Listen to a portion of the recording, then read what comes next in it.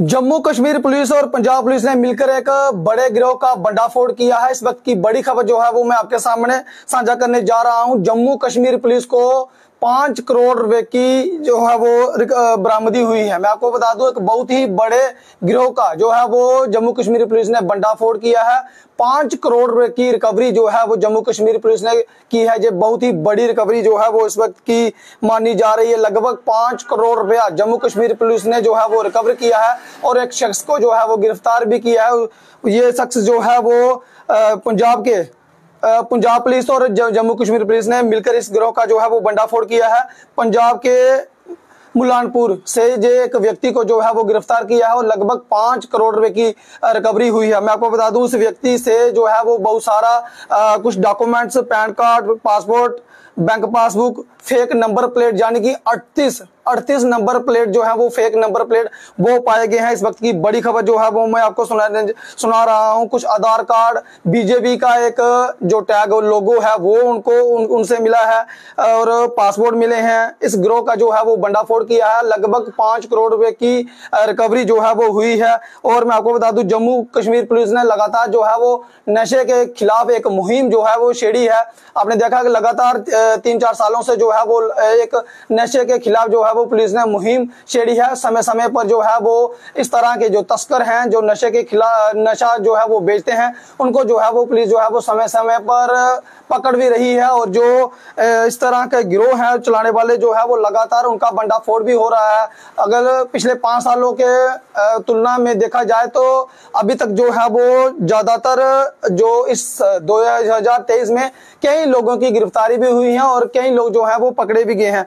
आपको मैं बता दूँ, इस वक्त की जो बड़ी खबर है, और ये बड़ी खबर है कि पाँच करोड़ रुपए की रिकवरी जो है वो जम्मू कश्मीर ने जम्मू कश्मीर पुलिस ने रिकवर की है। तो मैं आपको बता दूँ इसकी जो प्रेस कॉन्फ्रेंस है डीजीपी दिलबाग सिंह ने की है। उन्होंने कहा है कि 2018 के मुकाबले 2023 चल रहा है। इससे पहले जो है जो है वो दो हज़ार 2018 में। नो स्कूल जो केस थे वो नौ केस थे जो रजिस्टर हुए थे जबकि 2023 तक। 2018 के बाद जो 2023 है आ, 1915 केस जो है वो रजिस्टर हुए हैं।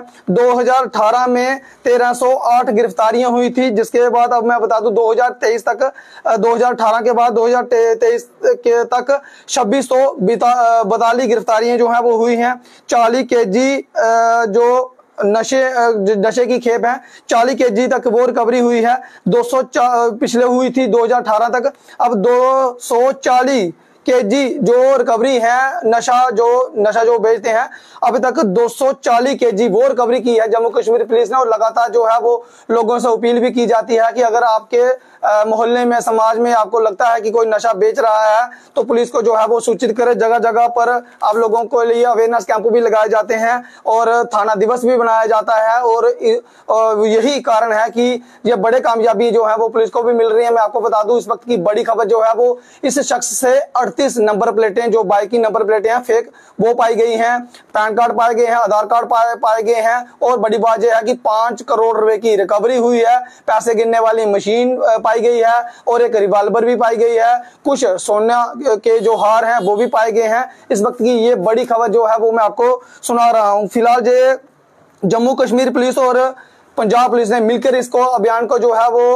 अभियान को जो चलाया था, और एक व्यक्ति की जो है, वो गिरफ्तारी भी हुई है। तो ये एक बड़ी खबर है जो आप लोगों के समक्ष सामने रखी है और मैं आपको बता दूँ, अभी और भी इसके साथ तार जो है वो जुड़े हुए हो सकते हैं और भी कुछ लोग जो है वो सामने आ सकते हैं। अभी फ़िलहाल पुलिस जो है वो तहकीकात कर रही है और मैं आपको बता दूँ, पाँच करोड़ रिकवरी कोई कम रिकवरी नहीं है, बहुत ही बड़ी रिकवरी है। इससे पहले आपने देखा कि इसके तार जो है वो रामबन के रामबन के तार जो है वो पंजाब से जुड़े हुए पाई जा रहे हैं और पुलिस ने, पंजाब पुलिस और हमारी जम्मू कश्मीर पुलिस ने बहुत ही सराहनीय काम जो है वो किया है। पाँच करोड़ रुपए की रिकवरी, और कुछ मैं आपको बता दूँ, एक व्यक्ति को गिरफ़्तार किया है, और उसके साथ साथ कुछ नशा, कुछ नशीली वस्तुएँ भी पुलिस ने रिकवर की है। उसके बाद जो है वो मैं आपको बता दूँ अभी पूरी छानबीन जो है वो पुलिस कर रही है। ऐसे क्या क्या मिलता है? तीस के जी हीरोइन भी इस शख्स से जो है वो पाई गई है। तो बड़ी कामयाबी जो है वो मानी जा रही है इस वक्त जम्मू कश्मीर पुलिस की। और मैं आपको साफ़ तौर पे बता दूँ कि अगर आप लोगों को भी लगता है कि आपके समाज में मोहल्ले में गली में आपके शहर में